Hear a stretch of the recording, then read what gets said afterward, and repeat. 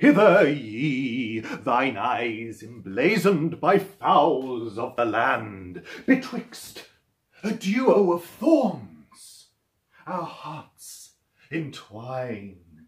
Thou'st a grump, a wilful play on shivered sunlight. Doth thou chooseth the blinds or thy curtains? Drapes will fall. I don't know what that was, but please don't do it again. One, two, one, two, three, four.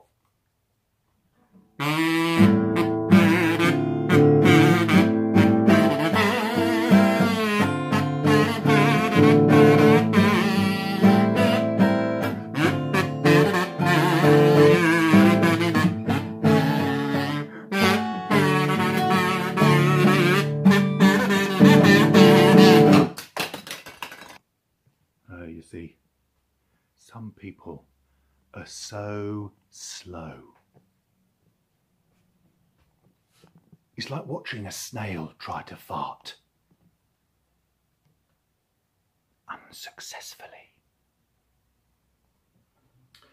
So, welcome to uh, Mindfulness Imagination Fair, where I try and have a brief conversation. We're always trying to have a brief conversation with our ego. It's like a, a battle, a war of the worlds. You on in the one corner you have the ego, representing all the things that drive fear into you, all the reasons why you can't do something.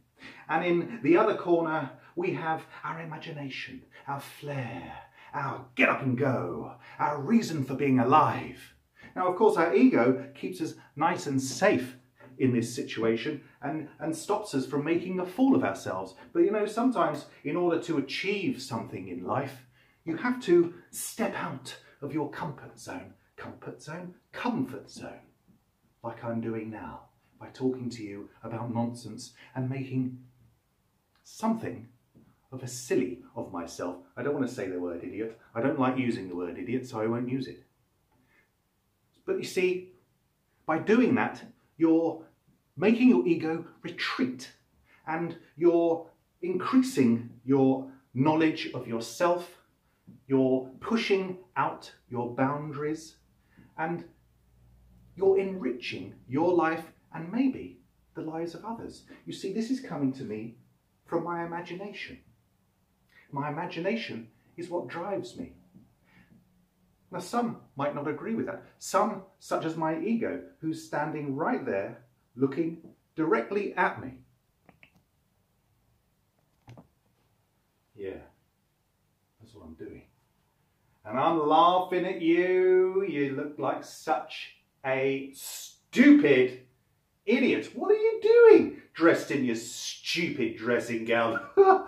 you look like a right idiot. Then listen to him. Exactly what I was saying in that scenario. You see, an ego is there to stop you from hurting yourself, to stop you from uh, making a fool of yourself, but it's also there to stop you from being successful and to stop you from realizing your dreams and to stop you from being a better person. The trick is to balance them both to take your ego, to rest it somewhere, park it somewhere, give it some time, give it some thought, and use your imagination as well. You need to balance the two. Hey, that's like Star Wars, the balance of the Force. Well, I guess it is. Wonder where that came from. Here's something I did earlier. People often stop me in the street and they say to me, Why are you dressed like that? And here we go. So we go with Rising up back on the street. Did my time, my chances. Went the distance, now I'm back on my feet. I'm just a man and his will to survive.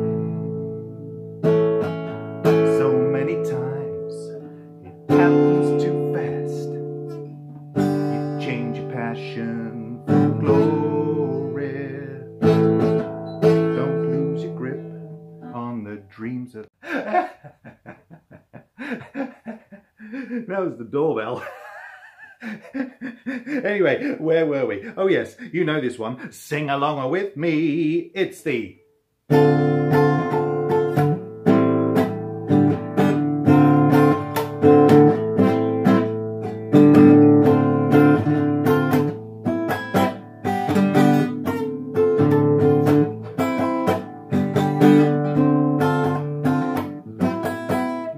Know it? Eye of the tiger is the name of the fight, rising up to challenge of rivals. Last let the feet of down and back, and it run to the drum of the tiger.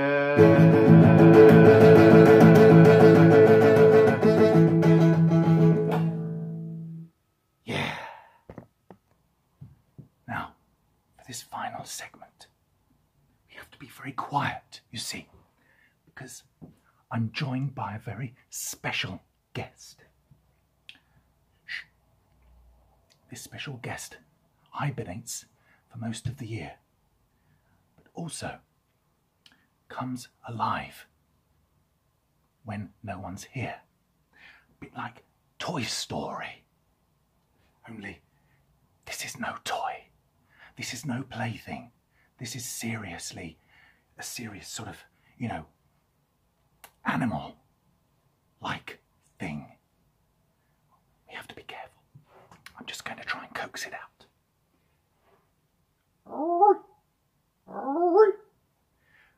That's the noise that it makes uh, at night or when it's alone to try and gather company. Ah, I, I can see it moving. I can see it. Yeah. Ooh. What? Uh. Here he is, ladies and gentlemen. It's Bum the Bear. Now, Bum, are you okay? This, are you comfortable in this situation? I'm getting an all clear that Bum the Bear is comfortable. Now, you might be wondering what has happened to poor Bum's nose. Well, you see, used to be there, used to be there, and then this was adapted, surgically enhanced nose.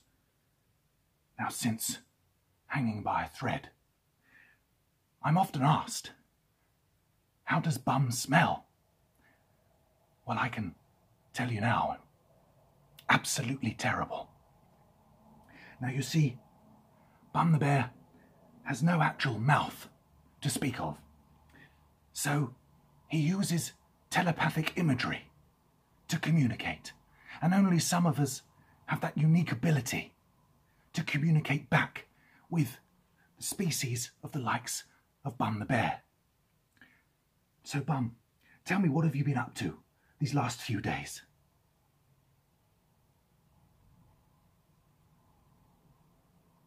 Oh my god, that's disgusting. Really? Oh, God. Okay, I'm now getting the impression that he's going to get angry with me, so I'm going to let Bum the Bear go back to his little spot, hiding away behind the door. You can see his little ears going now, can't you? There we are. And I think I think he's gone. He's safe now. And we can be sure that while we're here, he will not raise his voice. But while we're gone, we may hear that distant call, that distant poem of Bum the Bear. Be sure to tune in next time for something else. Until then, from me, bye bye.